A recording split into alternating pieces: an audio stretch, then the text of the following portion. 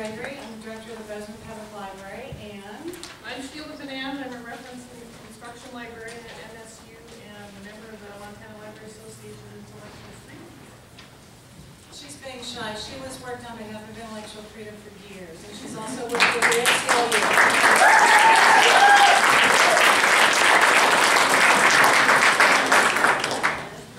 So we're really proud of her. Um, the program this evening is a great example of an ongoing partnership we have between the Bozeman Public Library and Montana State University's library. We're absolutely proud of that relationship. It gets better all the time. And so we thank all of you criminals who are here this evening, and we're delighted to see that this evening is going to be such a success. Um, we've got some wonderful readers here this evening, but before we jump into our first reading, let me let Sheila explain what one of our banners is. Yes. In addition to being sponsored by the two libraries, um, this, tonight's event is also part of MSU's Year of Engaged Leadership. Uh, for the next year, MSU is highlighting the many events and activities that the university helps us develop the leadership skills of students, faculty, staff, and community. So keep your eye out, be some wonderful events all year long as part of that program.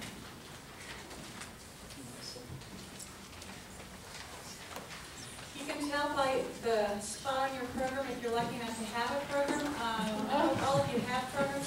Jane, would you get any others? Jane, thank you very much, she ran some extras off. If someone needs um, a program for this evening, this is Jane Basil, and she's got some extras.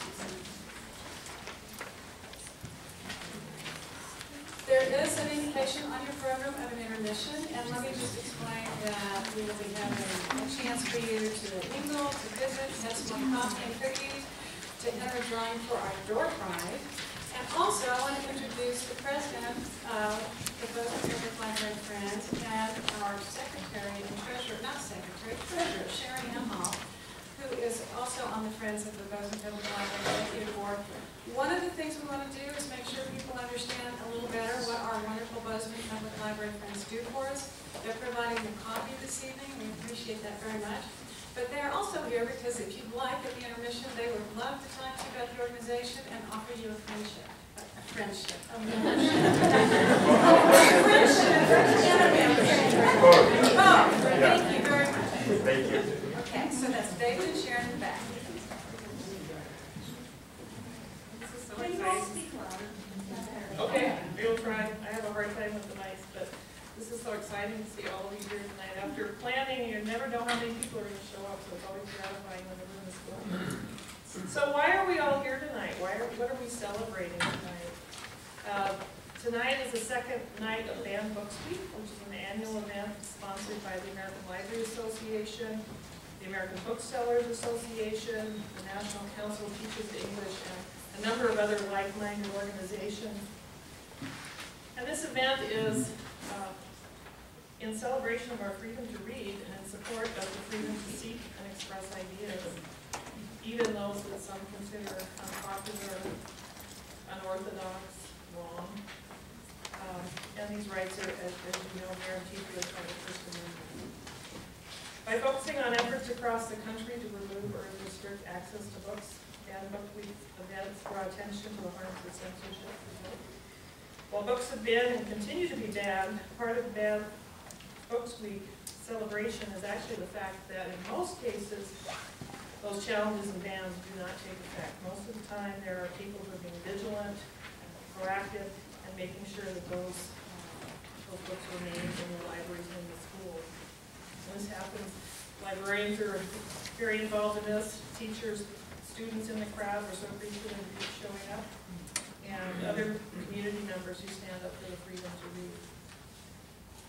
However, just in case you don't think that this kind of thing does go on anymore, um, I'd like to point out that just last week, in North Carolina, the Randolph County School Board banned Ralph Ellison's Invisible Man uh, from its library shelves and school curriculum. Uh, So it's, these things are are definitely happening. This was after a parent complaint. And there's also a challenge currently going on uh, to the absentee diet of part-time Indian Sherman Alexie in the building of schools. So as we speak, it's happening in Montana as well. Unfortunately, these challenges and bannings have a long history. Pretty much ever since the written word was fixed in some way, there have been people who have complained about that. In fact, find all kinds of examples from the Greeks where they were arguing amongst each other about whether something should be available or not. But there's also been those who have fought for the freedom to read. And to illustrate this, um, one of our readers tonight, Jack Liederman, found a great quote from John Milton that was written in 1644. And I'll invite him to come up and share that with.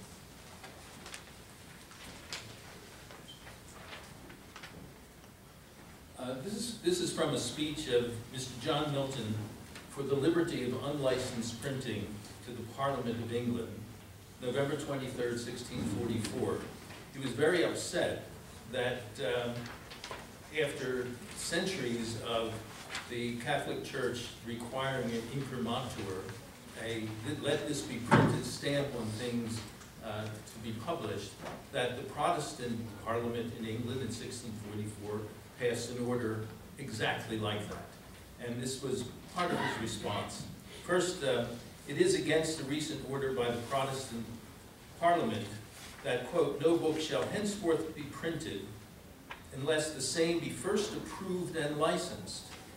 And then he said, Milton, "The attempt to keep out evil doctrine by licensing is like the, quote, exploit of that gallant man who thought to pound up the crows by shutting his park gate." Um, And this is the quote. I, I cannot praise a fugitive and cloistered virtue, unexercised and unbreathed, that never sallies out and sees her adversary, but slinks out of the race, where that immortal garland is to be run for, not without dust and heat. Assuredly, we bring not innocence into the world, we bring impurity much rather. That which purifies us is trial, and trial is by what is contrary.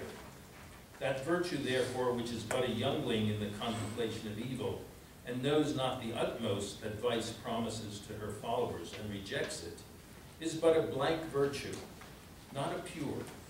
Her whiteness is but an excremental whiteness, which was the reason why our sage and serious poet Spenser, whom I dare be known to think a better teacher than Scotus or Thomas Aquinas, describing true temperance, temperance under the person of Sir Guyon, brings him with his palmer through the cave of Mammon and the bower of earthly bliss, that he might see and know and yet abstain. Since therefore the knowledge and survey of vice is in this world so necessary to the constituting of human virtue, and the scanning of error to the confirmation of truth, how can we more safely and with less danger scout into the regions of sin and falsity than by reading all manner of tractates and hearing all manner of reason? And this is the benefit which may be had of books promiscuously read.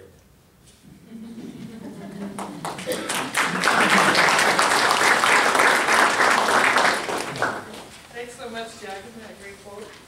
Um, Now for tonight's celebration. Uh, We invited leaders from the Bozeman community to share a short passage with you tonight from some of their books that has been challenged at some point in history um, in a school or a library. We have a wonderful lineup of readers and some fabulous books, so we hope you'll enjoy the evening. And I'll pass it over to Susan to get the event started.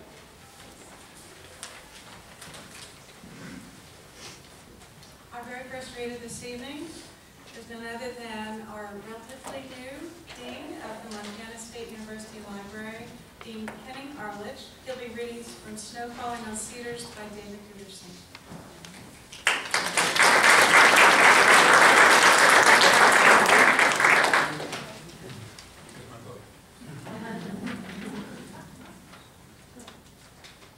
When Sheila asked me to um, participate in this, I looked at the list and was surprised to find Snow Falling on Cedars uh, on the list.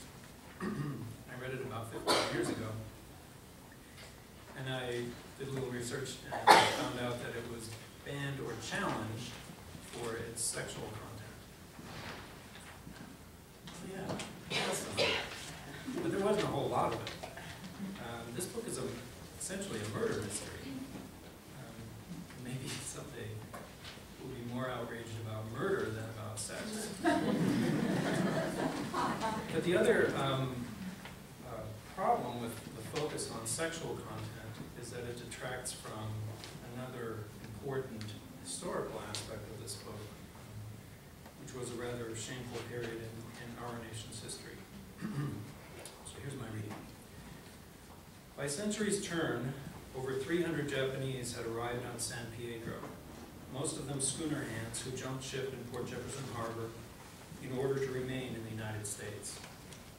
Within a week, the ship jumpers possessed no jobs, stacking lumber, sweeping sawdust, hauling slab wood, oiling machines, for 11 cents an hour. Company books preserved in the Island County Historical Archives record that in 1907, 18 Japanese were injured or maimed at the Port Jefferson Mill. Jap number 107, the books indicate, lost his hands to a ripping blade on March 12 and received an injury payment of $7.80. Jap number 57 dislocated his right hip on May 29 when a stack of lumber toppled over. In 1921, the mill was dismantled. All of the island's trees had been fed to the saws, so that San Piedro resembled a bald stump desert. The mill owners sold their holdings and left the islands behind. Japanese cleared strawberry fields, for strawberries grew well in San Piedro's climate, required little starting capital. They saved their money in canning jars, then wrote home to their parents in Japan, requesting wives be sent. Some lied and said they'd gotten rich, or sent pictures of themselves as younger men. At any rate, wives came across the ocean. They lived in cedar slat huts, lit by oil lamps, and slept on straw-filled ticks. The wind blew in through the cracks in the walls. At five o'clock in the morning, bride and groom both could be found in the strawberry fields. Thus, life went forward on San Piedro. By Pearl Harbor Day, there were 843 people of Japanese descent living there, including 12 seniors at Amity Harbor High School who did not graduate that spring. Early on the morning of March 29, 1942, 15 transports of the U.S. War Relocation Authority took all of San Piedro's Japanese Americans to the ferry terminal in Amity Harbor. They were loaded onto a ship while their white neighbors looked on. People who had risen early to stand in the cold and watch this exorcising of the Japanese from their midst. Friends, some of them, but the merely curious mainly, and fishermen who stood on the decks of their boats out in Amity Harbor.